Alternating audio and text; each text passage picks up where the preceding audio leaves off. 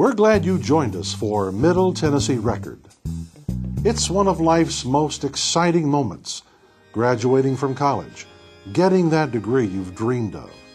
It takes a lot of time and effort to earn that special piece of paper, and the hard work starts long before students ever take that first college course.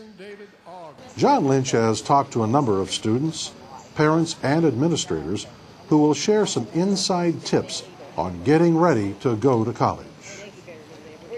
Tom, we're obviously a little biased on the best place to attend college, but we've made an extra effort to ensure that the tips will apply no matter which institution students choose to attend. Steve Mizell is an admissions counselor and a recent graduate of MTSU, and during the regular school year, he travels the state visiting with students in high schools, even middle schools. He also gives tours of campus. From his various perspectives, he gives one very important piece of advice.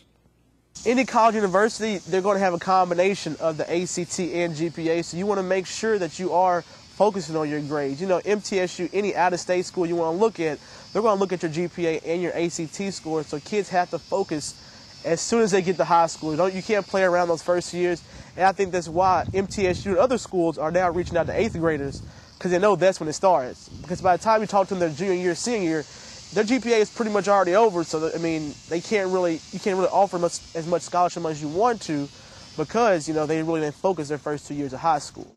Students aren't the only ones who get butterflies when considering college. Parents have a number of concerns. The Reverend Gary Fair and his wife Angela attended Customs, the summer orientation program for new students and parents. Their daughter Ariel is now a freshman. Well, I think we've probably been looking at schools for three years at the least because uh, we started early and kind of went through quite a few schools. The fairs also emphasize the importance of planning ahead. The earlier, the better in terms of preparation. It's just never too early to begin looking at schools, to really begin to um, develop your child into the mode of, um, of looking at all the different options, the different possibilities.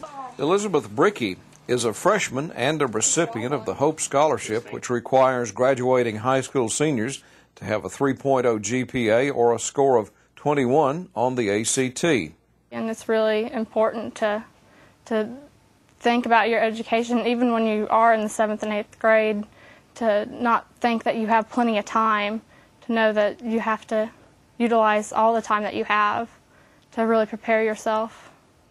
Elizabeth is fortunate to have an older brother in college. Jared Bricky is a senior who says the idea of going to college was a little intimidating at first. I wouldn't say I was overwhelmed. I was a little bit a little bit intimidated just because it was me going in kind of uncertain of myself. Once you get rid of that, it took me about halfway through my first semester. And I was just walking across campus. I just kind of looked around. And I thought, you know, I, you know, this is where I belong. Start planning early, keep your grades up, visit different institutions, and start a college savings account. Well, David Hutton, MTSU's Director of Financial Aid, says a college education is not cheap. For a state school now, it costs about $50,000 for a four year period of time. So the more money you can have, the better off you'll be. Uh, even if it's $50 a month, 100 200 300 save. The other thing I would do is know requirements for scholarships and know what scholarships are available. Uh, a lot of scholarships are out there and people just don't try to find them. The third thing is know the lottery rules. You'll be surprised that the people that are seniors don't have the requirements for the lottery and, and then it's too late. You know, while they have five or six years to plan, the student needs to know this is what I need to have in order to have the lottery scholarship when I come come to school.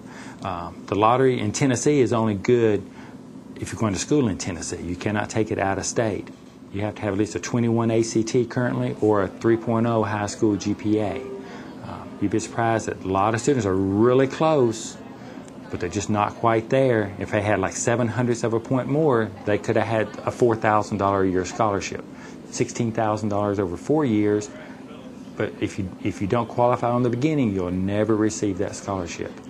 Um, so always know the requirements. Talk to your child about the requirements, and then you know gauge their classes accordingly to, to reach reach that goal. Hutton says the internet is a good way to find out about scholarships, but not every website is a good one. There's a lot of scholarships out there on the internet. Uh, and there's also a lot of scams out there on the internet also. First of all, uh, when you're applying for scholarships, do not apply to any of them that's going to charge you a fee.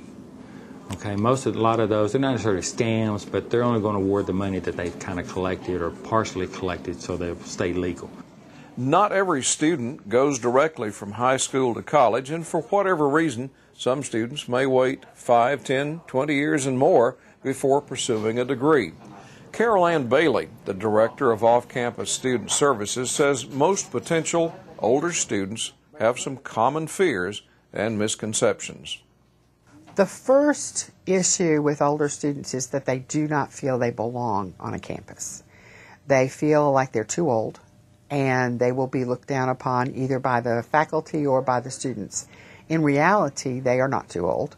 Um, about 45% of the student population across the country is actually composed of adult students, students who are beyond the traditional age of a college student, students who have been married, they've been working, they have major responsibilities outside of school. These people feel like they don't belong on college campus initially. And that's one of the first things we try to address with our office is to try to say, you belong here. We have a lot of students who come in just like you. You will fit in here. There are a number of students here who are adult students, and you will you will be among them. Many adults start college and don't finish. Dr. Mike Boyle, Dean of the College of Continuing Education and Distance Learning, says these people have a different set of concerns. You know, nearly all of us um, have some college. You know, after school, we had a college experience of some kind, and if we didn't finish, there's a reason why we didn't finish. Uh, life got in the way, or maybe we didn't do well. Uh, and now it's been 10, 15, maybe 20 years. And um, we're competing with the youngsters, and that's tough. Although students are urged to start their college planning early, Boyle says it's never too late. I was 35 years old before I decided I needed a college degree. And I put it off and I put it off and I put it off. The hardest thing's picking up that telephone. Choosing the, the college is not a big deal, but that phone call is where it all starts, and that's the hardest part.